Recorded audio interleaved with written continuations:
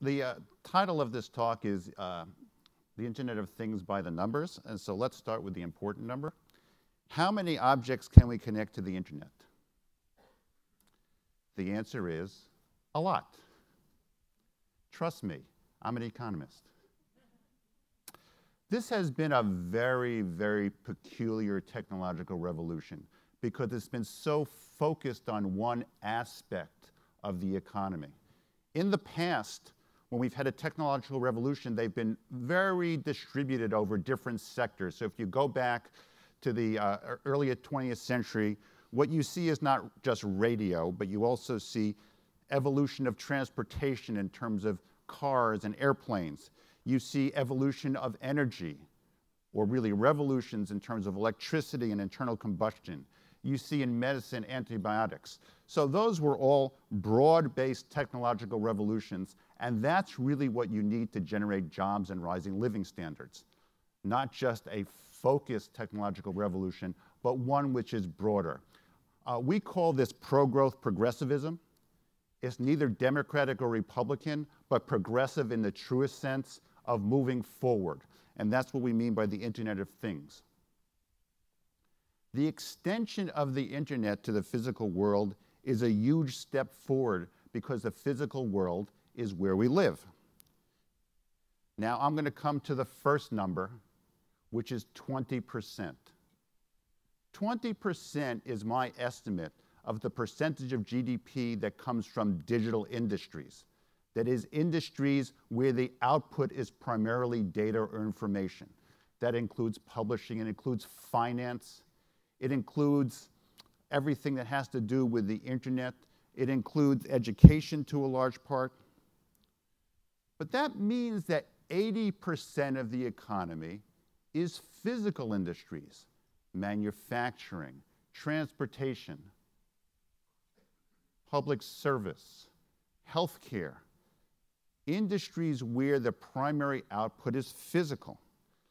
What's happened is that the internet up to this point has been about transforming digital industries. What the Internet of Things will do is transform the physical industries. Now we come to our second number. Our second number is 0.5%. 0.5% is the productivity gain for 2013 over 2012. Very slow. We cannot have viable growth, viable living standards, a viable political debate while our productivity growth is that slow. We need it up more like 1.5% or even 2%. And one way to think of what's happening is that we have been able to transform the productivity of our digital industries up to this point, but our physical industries have lagged behind. A lot of what Chris was talking about was examples, and a lot of what we're going to hear later on is examples of transforming the physical parts of our life. It's very difficult.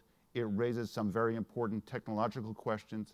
It raises some very important regulatory questions, but it will make an enormous difference to productivity growth and rising living standards. Finally, my last number here is 6.7%, which is the unemployment rate.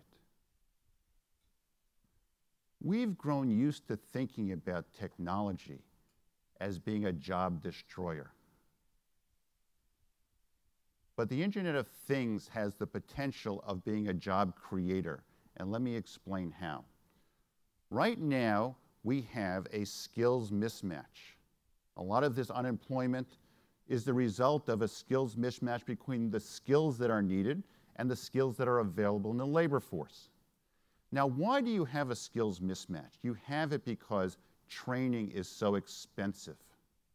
If you want to train someone right to a job that mixes cognitive and physical skills, you need a skilled trainer right with them. Now, I wish I had a prop here, but the prop that I'd like to have is an internet enabled basketball, which was being sold this Christmas called um, uh, the, uh, let me make sure I get this right, called 94Fifty. You could buy a basketball where if you dribbled it, it would tell you what you're doing wrong. If you shoot, it will tell you what you could do better. If you set it right, it will yell at you. Now, you could have gotten this before. You could pay 50 or $80 an hour for an individual session with a basketball coach, but that adds up pretty quickly. Once you've bought this basketball, this basketball, maybe slowly, will actually help you improve your game.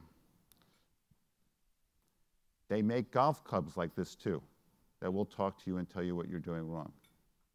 Think about, though, the implications.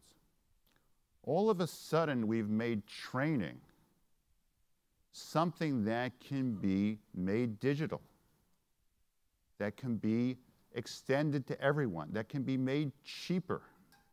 We've, once you change the economics of training in this economy, you really change an enormous amount about the labor market, both from the point of view of the employer and the point of view of the potential employee.